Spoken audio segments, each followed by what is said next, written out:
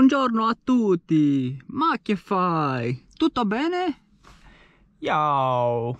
Bă, cum se dice latini la rumena? Nu știu cum se zice, dar uh, eu sunt în Italia, dacă nu te-ai prins. Da, băi, și italienii ăștia au un stil de a merge, cel puțin pe drumurile astea de munte, în Italia de nord, Tirol, Tirolul de sud sau Sud Tirol, cum vrei să spui în germană, în cazul în care vezi un tip cu un laptop în mașină, să nu te gândești neapărat că face tuning, ci pur și simplu își descarcă filmulețele făcute pe uh, drumurile alpine. Mm -hmm. Am oprit un pic ca să pot să pun bateria la cameră și să văd dacă mi încarcă laptopul ăsta frumos. O să vorbim și despre el într-un videoclip dacă te interesează laptopurile. Vrei să-ți dau un hint despre ce e vorba? Uh, 5800H cu 3060 RTX, dacă nu mă înșel.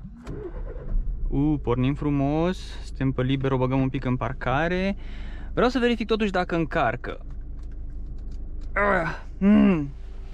Mai am doar 50% baterie și am uitat să-l pun la încărcat. Și ceva nu face bine că stă puțin aici și încarcă și, și pe urmă dispare faza aia cu încărcatul și nu înțeleg de ce. No bun, unde ne îndreptăm astăzi?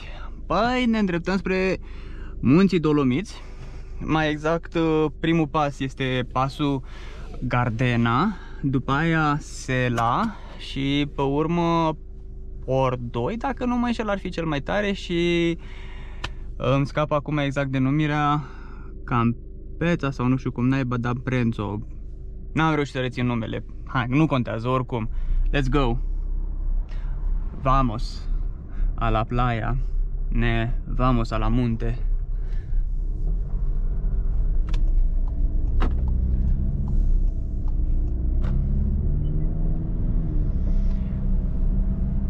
O să te întreb probabil de ce am aprins camera de aici, deși mai avem încă 30 de km sau 20 de km până la uh, pasul alpin.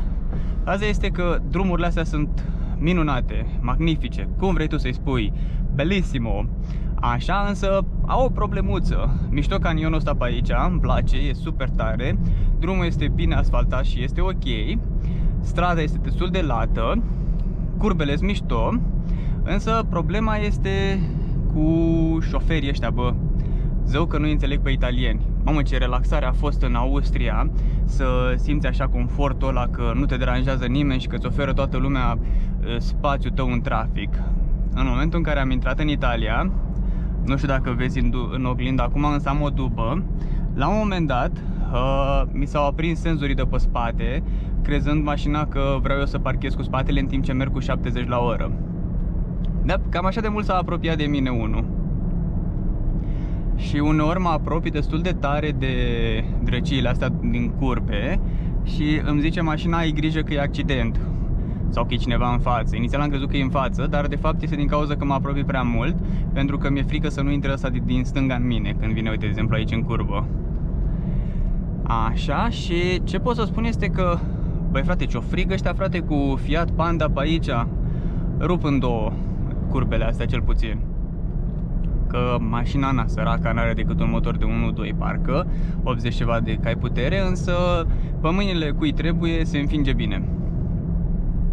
Ca idee, șoferii sunt disciplinați, merg cu viteza legală plus 10-20 de km la oră, așa. Faza amuzantă este că vine cu viteză, se pune în fundul tău fix la un metru distanță de tine și așteaptă acolo să mărești tu viteza. Nici de cum să te depășească. No. Le-am dat la câțiva semnal dreapta, care în mod normal, în limbajul șoferilor internațional, să zic așa, înseamnă depășește-mă sau virezi la dreapta, bineînțeles, dar în cazul în care este un drum drept și nu are unde să vireze cineva la dreapta, înseamnă depășește-mă. Cel puțin eu asta știu, dacă știi tu că mai are și o altă conotație sau un alt înțeles, atunci zim și mie, că sunt curios. Așa, E, faza este că am făcut testul ăsta la vreo 3-4 mașini, cel puțin, probabil cam așa au fost. Și ghișe, mm, toți au rămas în spatele meu așteptând să trag pe dreapta. Da, și cam așa stă cu șoferii ăștia italieni, cel puțin în nordul Italiei. O să încerc să ajung și mai spre centru, dar nu garantez, nu cobor prea mult, însă vedem cum va fi. Dar, uh, na, sunt drăguți, sunt amuzanți. Iar despre țară, ce pot să spun? E mai mișto în Austria, e mult mai dezvoltată, mult mai mișto, mult mai organizată. În Italia, chiar dacă asta este zona de nord și din ce am înțeles, Tirolul de sud ar fi aparținut sau a fost deținut de Austria, pentru că sunt foarte multe localități și foarte multe chestii pe aici puse în germană. Nu o stai să aprind șofarurile și să vedem cu ce viteză trebuie să mergem prin tunelul ăsta. Cred că am mers cel puțin 10 km astăzi numai prin tunel. De, cel puțin. Dar e mișto că e relaxant, nu mai îți bate soarele în ochi, însă ce nu-mi place, nu am văzut uh, ventilatoare puse așa de multe ca în uh, Austria. În Austria am văzut mult mai multe. Mm-hmm. Și până ajung eu la pasul Gardena, sincer, uh, o să fac multă încălzire astăzi. După cum vezi, avem pe aici suficiente curbe încât să ne pregătim și astea sunt cele mai mișto curbe, unde sunt un pic mai lărguțe, pentru că îți permite să conduci și tu ca un șofer normal și nu te forțează să oprești în momentul în care vine o mașină din sens opus, că asta este cel mai nașpa. Cum este, de exemplu, Stelvio Pass, care abia aștept să ajung în 2-3 zile, cred, nu știu, ceva de genul ăsta. Depinde cât de mult mă plimb prin Italia.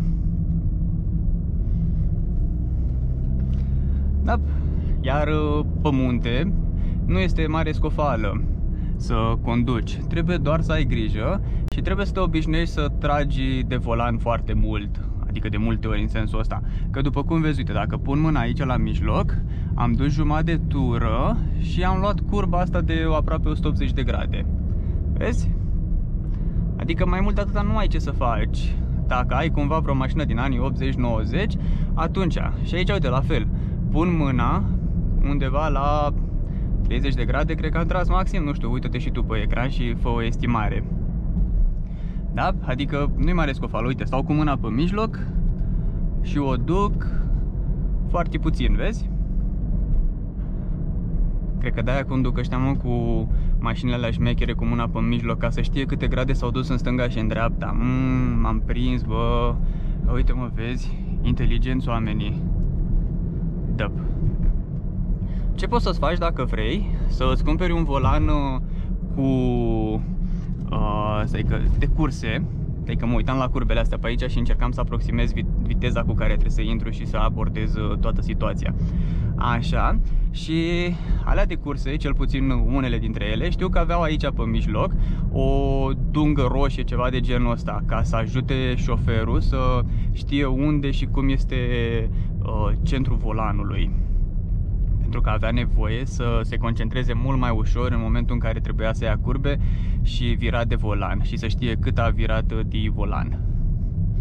Da? Și așa că poți să faci și tu. Dacă cumva nu-ți permiți un volan din ăla, pentru că vrei să ai în continuare airbag și nu ai bani de volane din astea aiurite, așa, Poți să faci doar de probă dacă ai bani, na, să ți-l iei pentru o perioadă și pe urmă să-l vinzi, că se găsește cineva care să ți-l cumpere.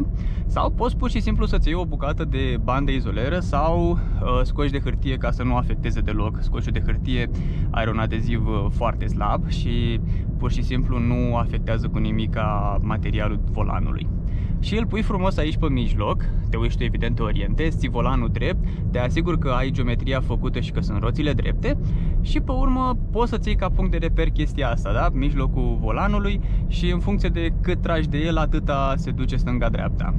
Ai înțeles cum să faci cu, cu, cu curbele astea, Uh, ce tare, un facelift. Teste. Mm, am prins mașini din astea de teste, ce mișto mașini camuflate îi spunea, dar uh, pentru că mă uit la prea multe lucruri, pur și simplu creierul meu e piftie acum.